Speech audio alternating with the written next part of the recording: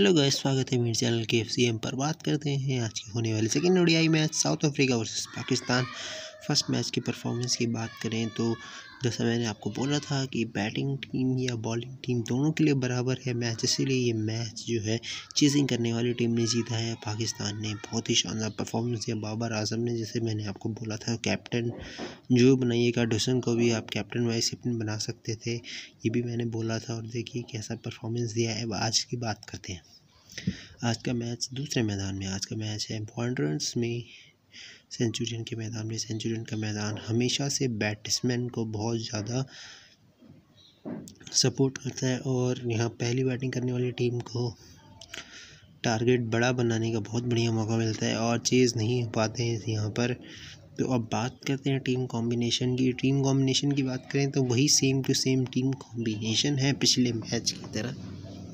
बात करते हैं साउथ अफ्रीका की टीम की। साउथ अफ्रीका की टीम के लिए फिर से फाफ डू ये माफ़ करिएगा, एडन मार्क्रम और क्विंटन डीकॉक होंगे तीसरे नवंबर पर। उनके कैप्टन तैमा बेब्यूमा होंगे, फिर डसन होंगे। बेब्यूमा कुछ खास कर नहीं पाए, लेकिन इस मैच में चल सकते हैं। बहुत ही रिलायबल प्लेयर है गाइस अपने टीम में कैप्टन वाइस कैप्टन ज़रूर बनाइएगा।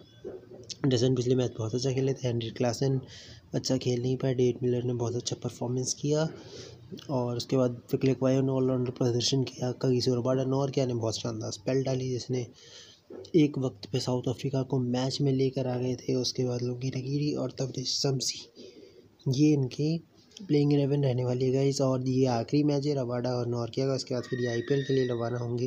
तो ये गाय ये मैच साउथ अफ्रीका के लिए भी बहुत इंपॉर्टेंट है और सबसे बड़ी गाइस आज ये pink pink one day match है, साउथ अफ्रीका के लिए। साउथ अफ्रीका कभी पिंक वनडे मैच नहीं हारी बट वो हराया एक ही टीम ने, है, पाकिस्तान की टीम ने।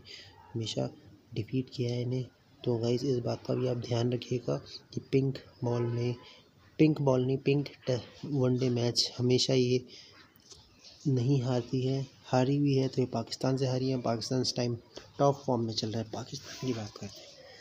पाकिस्तान की बात करें, सबसे पहले इमाम उल्लाक ने बहुत अच्छा परफॉर्मेंस दिया, जैसा वो वो करते हैं परफॉर्मेंस फ़कर जमन परफॉर्म नहीं कर पाए बट इस बार परफॉर्म कर सकते हैं। कैप्टन वाइस कैप्टन ज़रूर बनाइएगा। उसके बाद बाबर आज़म, मोहम्मद ने पिछले मैच में डेब्यू किया है।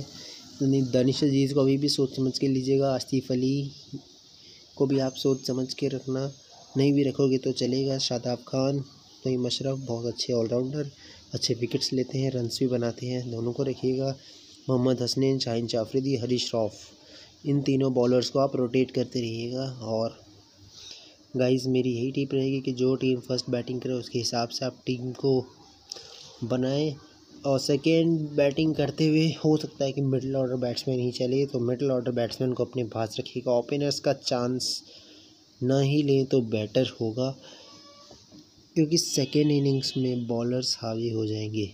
तो गाइज़ इन बातों का ध्यान रखिए और गाइज़ बनाते रहिए टीम बात करते कॉन्टेस्ट की। कॉन्टेस्ट आप देख रहे फाइव रुपीज़ की कॉन्टेस्ट है। बहुत ही बढ़िया है। पिछले मैच में भी आया था, इस मैच में भी आया है। फटाफट से जाइए, इसको ज्वाइन करिए और गाइज़ ड्रीम एलेवन अगर कोई खेल रहा हो ना ड्रीम एलेवन में जाकर भी आप कॉन्टेस्ट को ज्वाइन कर सकते हैं। बहुत ही कम एंट्री फ़ी में, सत्रह में चवालीस रुपये जीत सकते हैं, सैंतालीस रुपये जीत सकते हैं। उसके अलावा एक ग्रैंड लीग भी चल रही होती है। मिनी ग्रैंड लीग पिछले में चल रही थी, एक रुपये दो रुपये वाली में। उसमें मेरी टीम ने अच्छा परफॉर्म किया था, आपकी टीम भी कर सकती है। आप भी ज्वाइन करिए और फटाफट से जाकर विनिंग्स करना शुरू करिए और मेरे चैनल को सब्सक्राइब करिए। ऐसे ही आईपीएल में भी कवरेज आती रहेगी। हर मैच की कौन से प्लेयर को लेना है, कौन सा मैदान है, क्या वहाँ का नेचर है। तो फटाफट से आइस आपके लिए इतना कुछ वीडियोस में आ रहा है तो आपको भी करना चाहिए और फटाफट से जाकर मेरे चैनल को लाइक करिए, कमेंट करिए और सब्सक्राइब करिए ज़्यादा लोगों तक शेयर करिए और कोई चाहता है कि मेरी अच्छी टीम आपको मिले तो जल्दी से जाकर अबाउट में जाकर,